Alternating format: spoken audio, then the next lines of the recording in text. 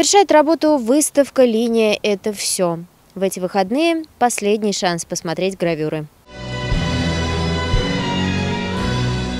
Произведение выдающегося графика академика Российской академии художеств Михаила Верхоланцева впервые предстали перед рязанским зрителем. Заявив о себе в 1960-е годы после окончания Московского высшего художественно-промышленного училища, Михаил Михайлович за десятилетия неустанного труда достиг высшего признания в профессиональной среде и был награжден серебряной, а затем и золотой медалью Академии. Произведения его сейчас воспринимаются как эталон гравюрного мастерства мастерства. Авторское название выставки «Страстное восклицание. Линия – это все». Действительно, несмотря на программную обращенность к прошлому, прежде всего к капризному и изысканному искусству европейского маньеризма XVI века, работы Верхоланцева меньше всего похожи на холодную ретроспекцию. Столько в них огня, азарта, жадности к самому процессу гравирования. С юности художник влюблен в ксилографию, это гравюра на дереве, а многоумность замысла всегда соединена у него с безукоризненностью ремесла. Недаром свою творческую родословную он возводит к форм Шнайдерам или иначе резчикам деревянных форм,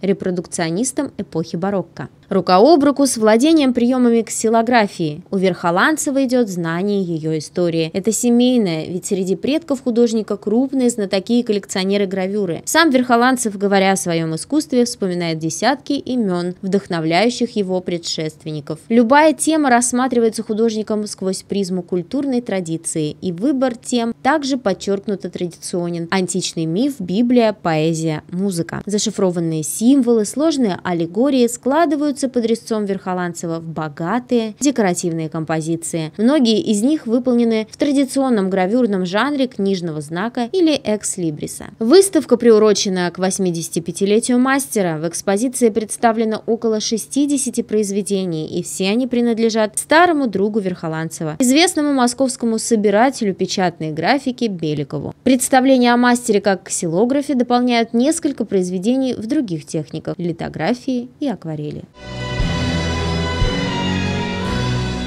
Именитая художница Ван Сюлин, хранительница традиции китайской живописи Гохуа, приехала в Рязань на открытие собственной выставки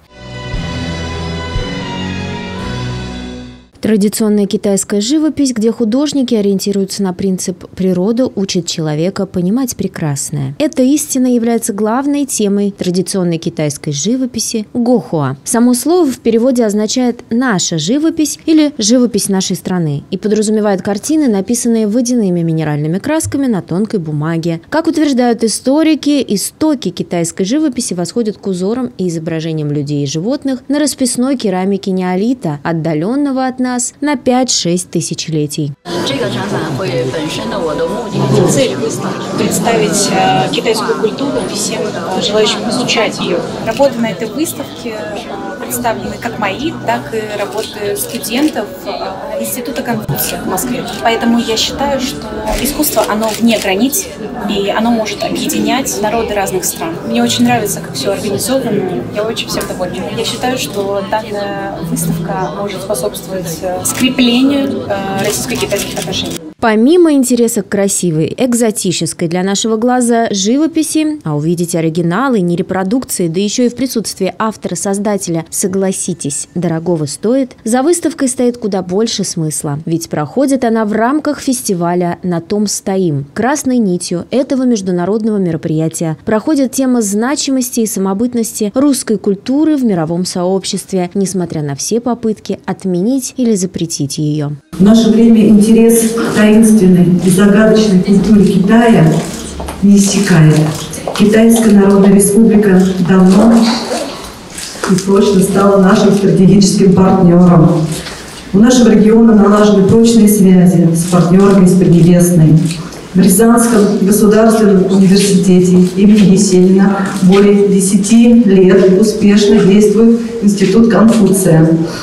В Чанчунском университете открыт китайско-российский культурно-образовательный центр имени Сергея Есенина. Художница Ван Сюлин родилась в 1958 году в городе Тяньцине. Ей было 40, когда она окончила факультет китайской живописи Китайского заочного университета. В разное время была ученицей таких мастеров, как Хуан Хэ, Ха Пэй, Джан Вэй. Много раз получала наставления у Ван Сюэджуна. Долгое время изучала работы художников прошлого, со временем овладела китайской портретной живописью. В список ее наиболее известных произведений входят 87 небожителей, изображение Будды, обновление природы, красавица и другие. Работы Ван Сюлин хранятся в коллекциях музеев, выдающихся деятелей культуры и искусства, крупных политиков.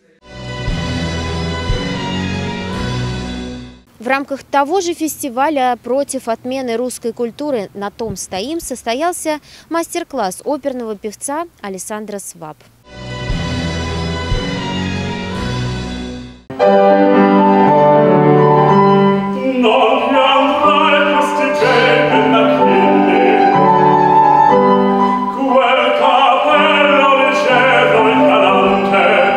Красивое пение. Именно так дословно с итальянского переводится бельканто. Эта музыкальная техника появилась еще в XVI веке. Главная особенность бельканто в том, чтобы звук был насыщенным, а каждая нота плавно переходила от одной к другой. При этом важно, чтобы голос оставался ровным, а тембр был спокойным во всех регистрах.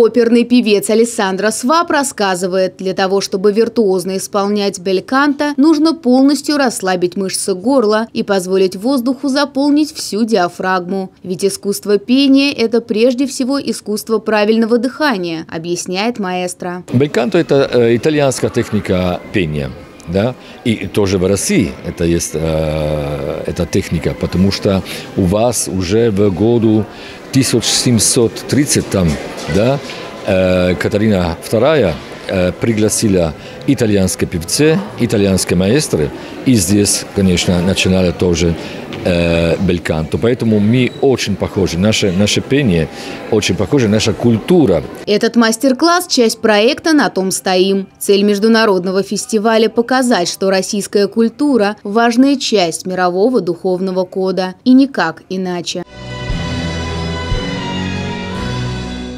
Фестиваль свидания на Театральной начинает свою работу. За долгие годы он уже стал визитной карточкой нашего города. С 13 по 19 ноября на сцене Рязанского государственного ордена «Знак почета» областного театра драмы при поддержке Министерства культуры Рязанской области состоится восьмой международный театральный фестиваль спектаклей о любви «Свидание на театральной». Коллективы из Петропавловска, Республика Казахстан, Саранска, Москвы, Нижнего Тагила, Пензы, Иваново, Вологды и Рязани представят зрителям самые яркие и запоминающиеся постановки, посвященные вечной теме любви. В афише фестиваля собраны разные жанры и стили, от классики до современного экспериментального театра. С 2016 года театральный фестиваль проводится ежегодно в городе Рязани на площадке Рязанского театра драмы. В фестивале принимают участие коллективы из городов России, стран СНГ, ближнего и дальнего зарубежья. Тематика фестиваля выбрана не случайно, ведь тема любви всегда вызывала неподдельный интерес у всего человечества. Любовь объединяет людей, и это имеет особое значение. Тема любви – одна из ведущих в мировой драматургии, многоликая и многогранная. Настоящая любовь имеет необъяснимую власть над человеком. Она делает его лучше и благороднее. Ради любви совершаются настоящие подвиги. Любовь – это великое и прекрасное чувство, которое существует вне времени и вне границ.